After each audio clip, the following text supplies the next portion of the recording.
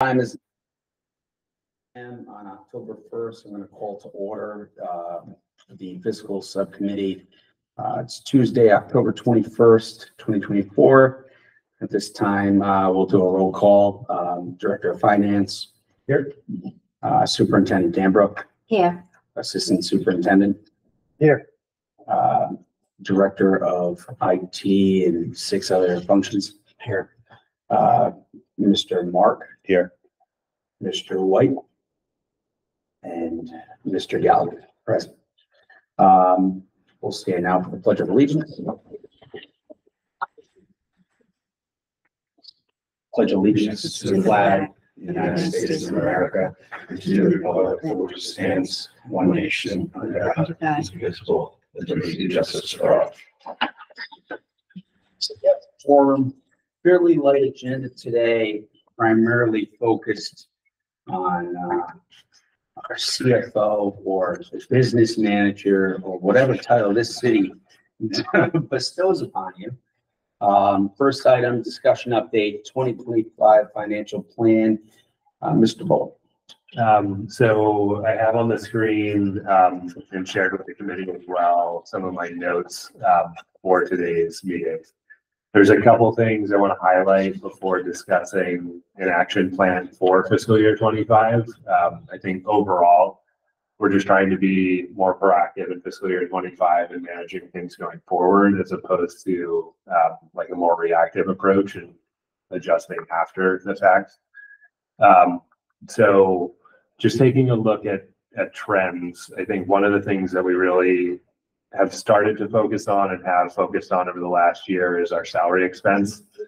Um, the past, I would say, four years. uh, Considerably over budget with the exception of fiscal year twenty-two, which I would call an anomaly just because we've had a funding in order to cover any shortfalls.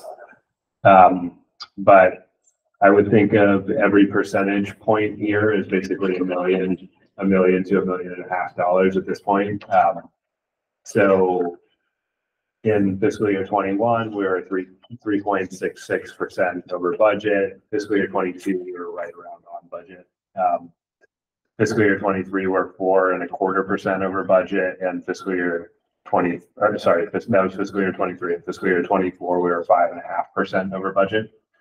Um, so the trend is going in the wrong direction. Um, this is, this is our biggest expense for a school district.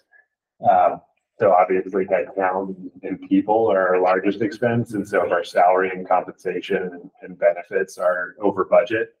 Um, it causes disproportionate stress on um, the, the more discretionary side of things. So we're way over budget on, on salary and, and compensation. That means that we need to surplus or, or cut funds that are going towards supplies or, um, technology, basically any of the, the non-staffing expenditures that we have in the district, curriculum, um, machinery. So one of the, one of the proactive steps that we've already taken this past, with this past budget were the layoffs. Um, we, we eliminated twenty positions from the WISE union, uh, as well as fifteen positions from the, uh, the WTU. Um, we, we had projections of what those savings were gonna look like. I'm more focused on the, the WISE union layoffs right now because we originally said we're gonna, we're gonna eliminate twenty positions. That's gonna result in one point one million dollars in savings. Um, we've already added back thirteen positions this school year, so netted out, that's really only seven reductions. So originally what we were projecting is like one point one million dollars in savings, looks more like three or four hundred thousand dollars. Those thirteen positions primarily IEP driven, correct? Yep. Yeah, so there are, there are other considerations here. It's not like we're just now hiring because the school year started and we feel like it. There are Yep. other things that have to be considered, and this is, I think, a normal course of the year. It will be more at the next meeting, Um, so, More, more additions or more cuts? more additions. um, so again, just some of the savings that we would have anticipated from those, those headcount changes or reductions, um, we're not necessarily gonna realize the full amount that we were anticipating. Um, this note here is just about if we can, if we can get our salary budget to be within five percent of budget, like right, last year, we were five and a half percent our budget. So if this year we can just manage that down to five percent through the reductions in the WTU positions, as well as hopefully not going too far over budget with um, the wise positions that we're adding back. Uh, at that point, if we hold everything else sort of steady within the budget, so we surplus the other line items in the budget to the same extent we did last year, um, we would need to surplus about three point three million dollars worth of supplies in order to break even. How, how quickly could you put together a list of like, what, like, what those supplies would reasonably be? Because then I think this committee could vote to send to full committee. Yep. That budget adjustment. Yep. And then right there, we know, okay, guys, you give this presentation or this update and say, we've, we've made this necessary adjustment to the budget. Yep. Based on, you brought back in thirteen positions. And my other question to you would be, in addition to how quickly can you put that list together? Because if you can get it to Teresa by tomorrow, if it's not a difficult task, we can get a vote on it in October. Otherwise, we're talking about in November. Yeah, we're, we're talking November. Okay, and then my other question to you would be on the, um, on the total volume. Yep. Should we be looking at another area of the budget to reduce? Because I'd like to think that we're gonna have just a few of more TAs added. Yep. With WISE because of IEPs and new screenings coming in.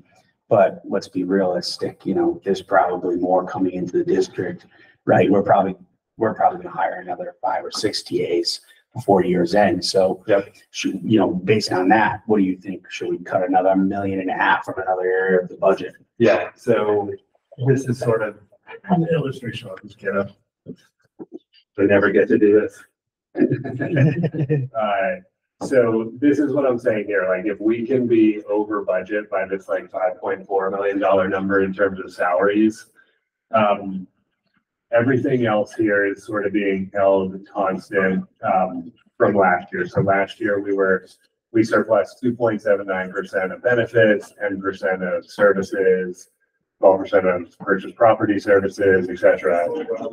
The only thing that's changed here is supplies and materials. So this is saying if everything's held constant and we surplus three point three million dollars worth of supplies, we, we basically spend exactly what we budgeted for.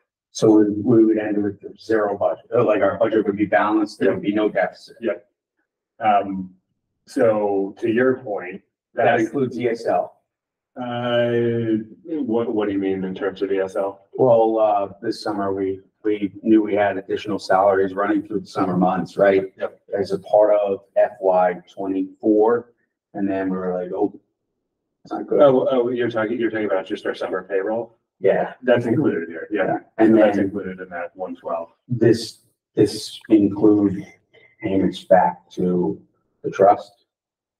Is it, yep, yep, everything that's, everything that's been budgeted for is included in these numbers here. Well, that, that was a post-budget item, right? That agreement we made with the trust was post-budget. In terms of, um, the drawdown and repayment. um, so still being discussed. So In we're terms not- of fiscal year twenty-four, that's, I would not consider that an impact to the budget though. The way that it's being structured is as a note payable. Um, so that's, that's legitimately just a balance sheet transaction. That's like probably more accounting than everybody here wants to hear. Um, It will not affect our expenses. Um, it's really just a transfer. Those are our funds. So just for everybody's information, there's a transaction on the table right now, um, that we're basically drawing down from reserve funds that we have through our self-insurance program.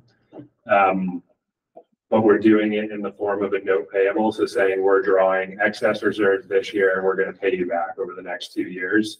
So that we don't have to incur additional expenses. Um, that's, we're still discussing the terms of that, that agreement and the term of how long it's gonna take to pay it back. essentially, we, we a loan, like a four oh one K loan, taken from your four oh one K to put it back in. rather than, uh, the benefit to it is that we don't have to draw down like our, our, um, unrestricted fund balance. So like prior year savings basically from surpluses. Um, but to your point earlier, Sean, this three point three million dollar number that I'm saying we have to surplus in supplies and materials. It's really, it can be spread across these other accounts. We don't have to cut three point three million out of supplies and materials. That's just the one I'm holding constant, or I'm holding the others constant, sorry.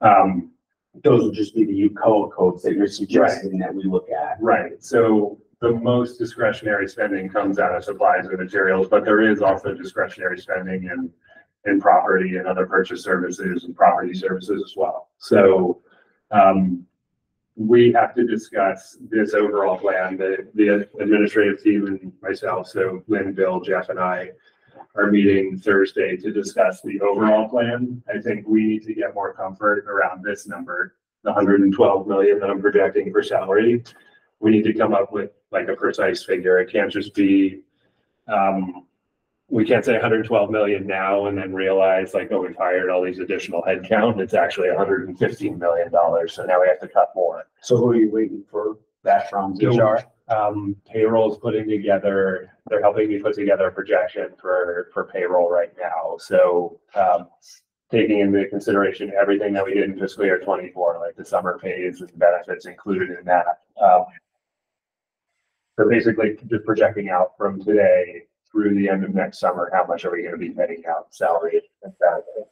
Um, You think you could have a final plan finalized by the next subcommittee meeting? That's the goal. That's the goal. So I think that there are certain plans that we can also implement before, um, but even before the next meeting where administratively, we just need to say that we need to start slowing spending because we're seeing, um, uh, th- there's a need to slow spending in order to avoid a deficit, basically. Um, so I think on Thursday, we're gonna have a discussion of what the overall picture look like for fiscal year twenty-five.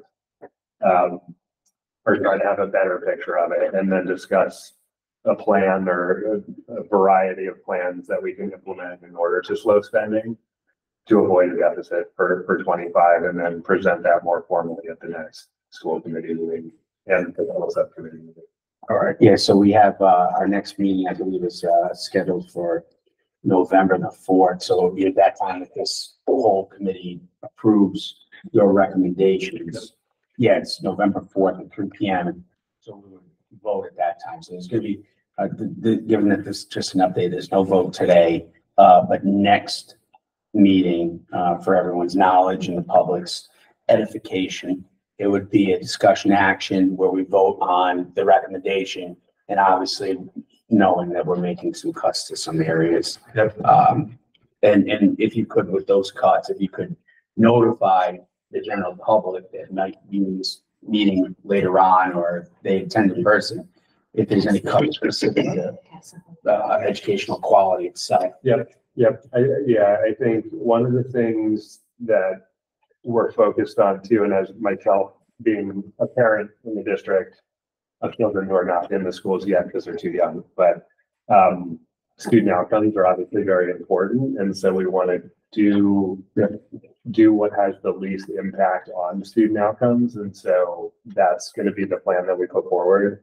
I think we all agree it's not going to be easy no matter what. This hasn't been done in a number of years, I don't believe here in Warwick, so um, whatever we do, there's gonna be, there's gonna be tension over it, or there's gonna be a discussion around it. Um, but again, what I think the goal is to minimize the effect on, on students, so. That'll be the Please. before. What he's saying is we're gonna have a sticky subcommittee vote and then a sticky opening vote on, Yeah. yeah, okay. How do you stymie the systemic issue that you have with all this stuff? Is a lot of this materials and supplies that we do unnecessary because our schools are so dilapidated and they need to be, the new schools will help remedy a lot of that budget line? No, so I, I would say historically, I, so like going back to the trends that I was showing here related to salary, um, I just think that we've been, we've had, this, this is the same for districts across the country right now. Like you had this influx of federal grant dollars over the past three years that basically subsidized your district. And We we received like twenty-one million dollars. Yeah. Um, that money was largely used to pay for math interventionists, reading specialists, like people who are gonna help kids who maybe fell a little bit backward because of distance learning with, with COVID. Um, now those funds are gone, but some of the headcount still exists. And so in prior years, it- you didn't feel the impact if you were over budget on salary because you had that subsidy of federal dollars to help you offset it. Um, but this is the first real year of having no federal dollars, but we still have some of that headcount. Um, so in the next coming years, we need to really focus on the salary and compensation lines within the budget and make sure that we're putting funds there so that we don't have to annually say, right, we have to stop spending again, we have to stop spending again. Um, it's more just coming up with a plan for, for headcount and personnel that, uh, that puts us in line with the budget. It's not just we're over. So that goes back into my question with the reallocation of all these funds to salary. Yep. Is there opportunity in, in the next three or four years when we do get these new schools, to actually cut some of that other budget that's recurring for fires at toll gate that wipe out and have contractors that we're not prepared for because the stuff is sixty years old? Yeah, so some of it, a lot of that is covered by insurance. So we have property and liability insurance through that. Yeah. So just for instance, when the, the roof blew off a toll gate last year during a big storm, the district only put in a percentage of that bill, while the trust put in the remainder of it. Yep. Same thing with the flooding in this Okay. building. The trust paid, I think, hundred percent of the replacement of the gym floor. Um, so, so a lot of that I would say is covered by insurance. Obviously, like the more claims you have, the higher your premiums are. Understood. That was So- my, actually gonna be my next question is. Does that, does the new school offset and we start Yeah. fresh with everything? Yep. Yeah, so there's, there's gonna be advantages to having new schools, not just for that, but for other cost incentives and things like that, but, um, insurance, insurance will be less of a concern with new buildings because we won't be having. And does the monies that we've talked about in past meetings for special education and all those time cards and, and other submittals that haven't been done yet, does that offset or do you realize those dollar values against budget or does that help offset the, the We, budget at all? so we budget for those and those, like the, the Medicaid reimbursements that we just, we. Um, we took a look at like actuals to make sure that we adjusted the budget to be closer to what we've actually been receiving. Um, so this year's budget is reflective of what we're actually anticipating receiving for Medicaid reimbursements. Okay. Any other questions from members of the committee? It's not that our November fiscal committee, we've got a a vote coming up. Yeah. Is that sixty-four percent cut into supplies realistic? Uh, so I, I would say that it's gonna get spread across other, that's, that's more just an example of like, this is the dollar figure that we really need to focus on. On surplusing throughout the entire budget, um, for illustrative purposes, it just, it's easier to understand if you take it out of one line. Uh, but it's, it's gonna, it's gonna come from different accounts, we're not just strictly gonna be taking it out of classroom supplies or anything like that. Do you guys have any thoughts, comments, No, I just would agree with them that we, we, the actual would be out of multiple lines, it would just be the one targeted area. It's something we have to do. Yeah. No, definitely not gonna run a deficit. How do we set ourselves up for success in the future though? Seems like it's very reactive. I, I'll, I'll take a bit of that, and then if you guys wanna take more of that. Yeah. First and foremost, obviously, the new buildings will be a huge help, because we're dumping money into buildings that are a black hole by having to constantly pay for emergency situations that come up, whether remediation costs, um, the co-pays on the insurance claims. Um, that's, that, those are all real dollars coming out of our budget that, you know, we don't, we, we have some plan for emergency situations, but we're not sitting on, you know, three quarters of a million dollars, right? And so that there, there's, you know, he's, Brandon's talking about what, three million right now up here with your plan? Yeah. So There's seven hundred and fifty thousand that, you know, we would probably have spent in the last year, a year and a half on insurance claims. Um, that, of, of three point three million. So that's, that's definitely one thing. Uh, the other thing is they worked very hard, the administration, on restructuring a deal with the transportation company to kind of, um, you know, get some funds back for failure of, of service. Um, and so I'll turn it over to you guys if you have any other ideas of, Just Wow. personnel. Personnel is always tricky because, you know, you, you know what you're starting with, but during the year, we're dealing with IEPs and more needs. So we find ourselves hiring, uh, many more teacher assistants and what we thought we needed for personnel, what we budgeted for, for personnel changes. Understood. We're, we're also, so we're implementing a new ERP and accounting system right now too. Um, the, I, I think for the past couple of years, there's just been a lot of turnover within the business office. And so there's no, there's not a lot of historical knowledge of the system we're currently using and it was implemented ten plus years Yeah. ago. It's I remember that outdated. conversation. So, um, a lot of times when we, like, we look at a projection in here, it's because I spent three hours this morning, like, putting the numbers together, making sure that they make sense. Um, versus like an up-to-date ERP system with clean data in it, where it should be a click of a button. Yep. Like, if I assume this, what is my number? Um, so I think that's gonna help a whole lot planning as well. Gotcha. Thank The, the other area is forecasting staff. We had a hired the normal concentration of staff hired in nineteen ninety-two. They're getting at the point where they're starting to consider retirement, so we, we will probably see a little bit of a a, a- a bump there with retirements over the next few years, so forecasting a a tenth-step teacher down to maybe a fourth-step Yep. teacher. So there- there could be some potential for, uh, having some savings there. It's just a matter of managing our, our staff and making sure we, uh, hit our targets. and this is a good time to bring up, I've, I've got support on both sides of the aisle at the State House, ready to sit down with us. So what I was bothering you with last week, Oh, if you could put together a list of, uh, all the expenditures that are unfunded mandates, what they are and like estimated dollar value. Yeah. Um, there's people on both sides ready to talk about it and, and pick it up for us to possibly provide us some relief. Uh, so that'd be a good way. I believe, what was the number last year you showed to the city council? Forty million? Uh, well, forty million is basically our whole non-staffing budget, but I'd say, I don't know, two thirds, more than two thirds of that is probably considered an unfunded. So, stuff that RIDE tells us we have to do, like paint the buildings blue, but they're not gonna give us the money to buy the paint. and Yep. There's no educational value to it, and we just gotta do it. Um, so, That's a team. Yeah, to go through, because it's a new one. yeah, and Andrew has like, uh, our, our legal counsel has a whole slide deck of basically all of the unfunded mandates that RIDE puts out there. We would just have to assign dollar value for Warwick to them. if you could do that, because they, they said they were interested in a couple of them aren't Warwick people, and they they had stated that uh, they understood, they're fully supportive of it, because it's not only gonna provide financial relief for us, but it's also gonna provide financial relief for their cities as well. So uh, I'd probably invite them to uh, a a fiscal subcommittee meeting to see the numbers. You know, we'll send them over, but they, then you could, you know, they can hear from the horse's mouth of the challenges that the superintendent, the assistant superintendent, and, uh, head of finance would, would be facing.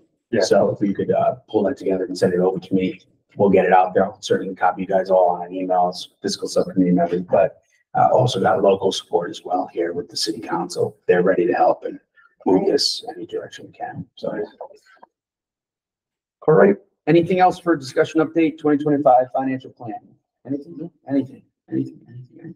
All right, uh, next item, discussion update FY twenty-five utilize, uh, year-to-date percent utilization to budget. Um, so again, I have these figures up here, um, under A, these are, these are the total expenses that we've actually paid out. Yeah. Over the total budget. So for fiscal year twenty-five, we're at about fourteen percent. At the same time, last year, we were at about thirteen percent. Um, so not materially different than last year. Um, if you account for the increase in the overall budget, we're probably about the same spot. Um, for expenses plus encumbrances. So this is, is gonna take what we've already paid and add in any encumbered expenses that we have yet to pay. Uh, We're at about twenty-eight point three percent fiscal year twenty-five. Same time last year, we were at twenty-six point five percent. So again, it's it's not a material increase year over year. That could just be an effect of people putting in purchase orders earlier, or processing purchase orders earlier in the year. Um, non-staff expenses. I thought this one was sort of important to highlight what we've spent so far this year because this is the area that we're looking at potentially slowing spending. Um, so, so far this year, we've spent six point three million dollars out of the forty point one million dollars we budgeted, which is fifteen point four percent. Um, the same time last year, we were at eleven point six percent. So again, spending at a faster rate, um, over last year, but it's not, it's not a material amount yet. It's twenty-seven percent higher. What's that? It's about twenty-seven percent higher. What do you mean by that? Twenty-seven percent? Like the four, was it four? Well, never mind, I did my math wrong. Yeah, if you look, I wouldn't look at like category to category. So A, B, and C are all like different measures. No, I was looking at just the bottom expense, the four percent difference. If you take that actual number, that four percent out of fifteen is about 23, 24 percent. Yeah. That's true, yes. Yeah, so we're in, in terms of percentage, I guess, yeah, we are spending at a faster clip, but I think some of that is just like our, our purchasing process and our purchasing team is processing things faster. Um, I don't think it's anything other than that. Be interesting to see what this looks like with the new ERP system where it actually goes through. Yeah. Any questions or comments for percent utilization to budget? All right, next item, uh, discussion update. Uh, I asked Brandon to speak to this. Um, he made some changes, um, on emergency authorization, uh, for everyone's knowledge. If the superintendent needs, um, to spend money in between school committee meetings, that requires school committee authorization by virtue of our policies. Uh, the chair is able to provide emergency authorization. It doesn't mean that it forgoes a full school committee approval. It would just make its way to the next meeting and it will go onto the docket, but it'd be something like, um, you know, when Lynn wanted to break me in as chair, she called me an hour later and there was the flood here at Gorton in the gym. And there was the need to call in single source and do sixty thousand dollars worth of water removal and uh, drying out the facility. So uh, that would be at ten o'clock at night and she needs approval. Um, so that would be an example. So uh, Brandon came up with a plan to make sure that just people aren't going around the director of finance or the superintendent to formalize it. So if you would just like to speak to the. Yeah, it's really just to streamline the communications, um, related to emergency approvals, because, um, we have found sometimes, like, just through word of mouth, somebody might say like, oh, this happened at this school, I just need you to get approval from Sean.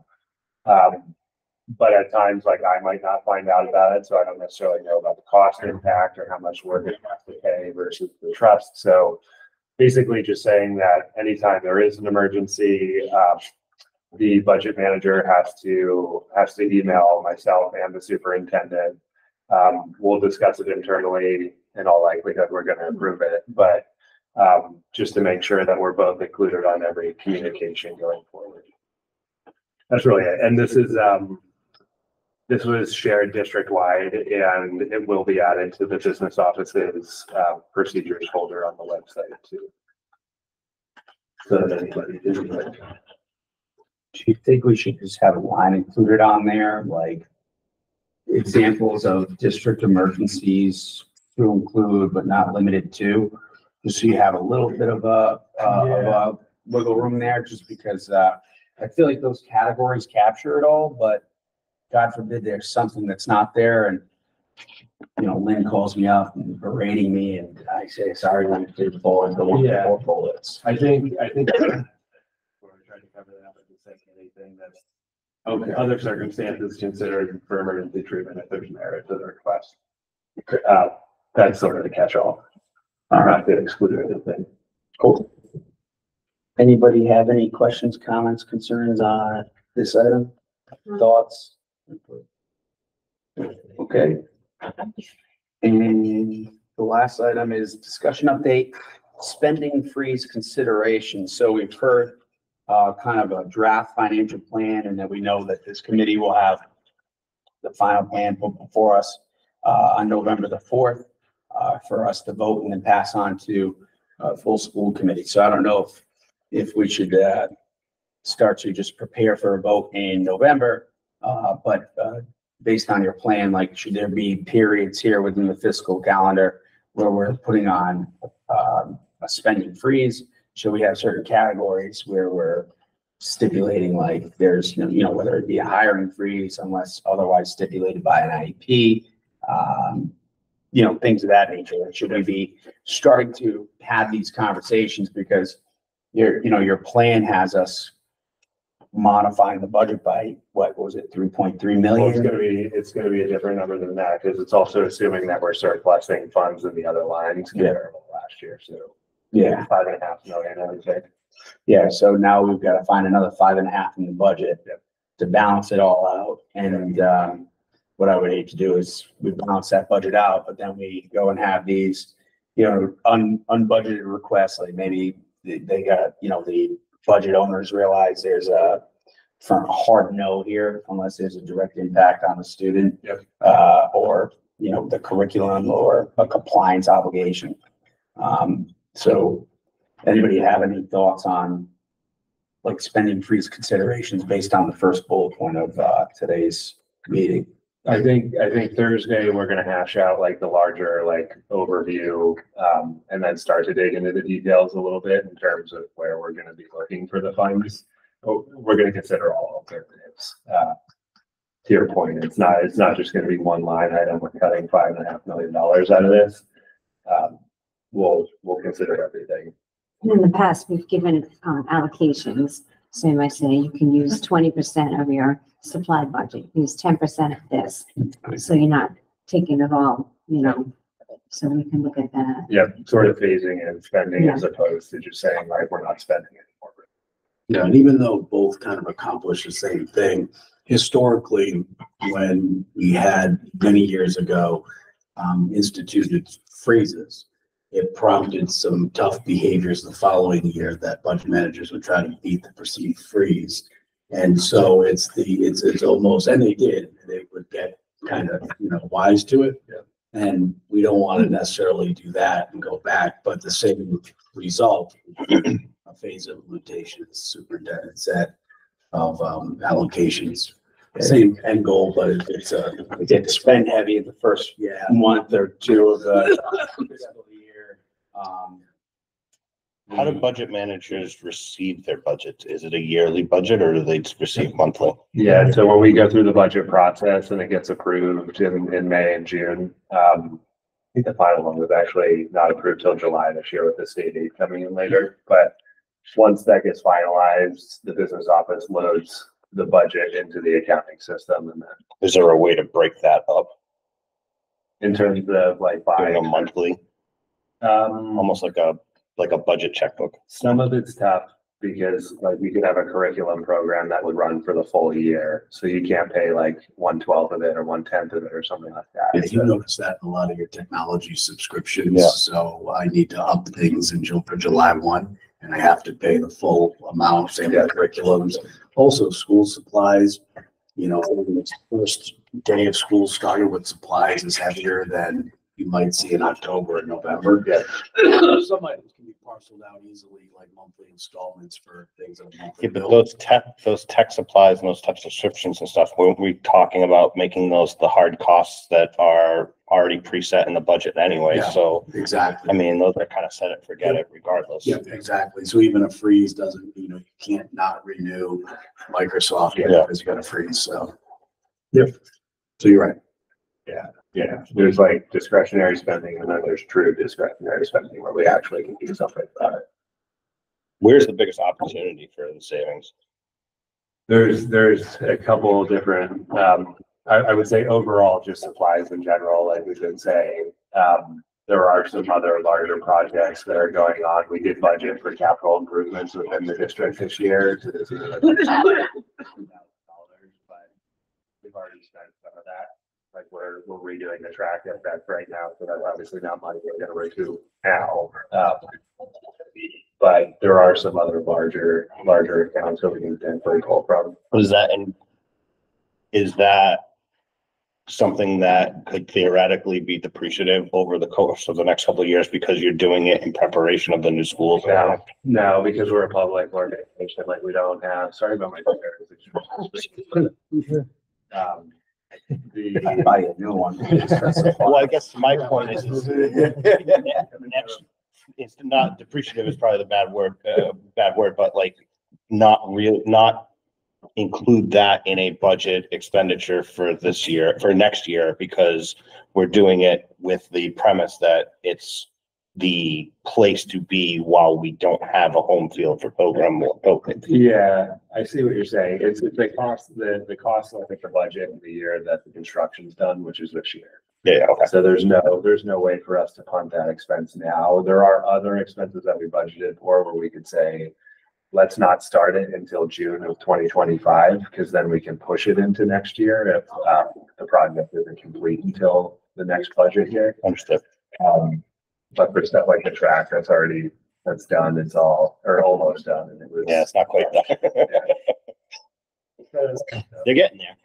They paint the, the lines this week. I think it's this week. they're gonna- Yeah, I see them out there every morning. I, I'm on the morning shuttle run with the That's kids. building. That's the question. Anyone else on, uh, discussion of possible, uh, spending freeze? or Comments, thoughts, concerns? Uh, We're on a public comment.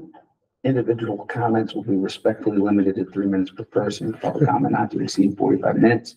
The content of comments will not be restricted, so this committee, the citizens, committee members, and the administration alike will be respectful of each other's right to speak, tolerant of different points of view, and mindful of everyone's time. We didn't need a police detail today, which was good. So any members of the public wishing to content, uh, comment? I'm not gonna say it three times because it's just no one here, so. For the public's record, there's nobody here other than members of this committee. Uh, so with that stated, next meeting is scheduled for Monday, November fourth, twenty twenty-four, three P M. It's not on the Tuesday because the following day is election day. Um, so Monday, November fourth, twenty twenty-four, three P M. We know that um, there'll be a vote by this committee to pass the financial plan onto the full committee and possible um, vote on spending freeze considerations, uh, passing that on to vote for the uh, full committee. Um, being that there's no other uh, business before this committee, I'd be looking for a motion to adjourn. So made by Dr. Taylor. Seconded by Mr. Bold. All those in favor? Aye. Aye. Meeting adjourned.